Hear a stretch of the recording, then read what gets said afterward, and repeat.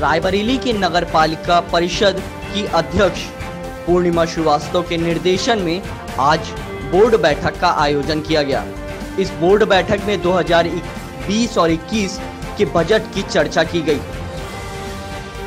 इस पूरे बजट सदन को लेकर बजट को सकुशल रूप से लागू किया गया। बैठक चल रही थी, किस चीज़ की बैठक थी और क्या निष्कर्ष निकाला गया इसका?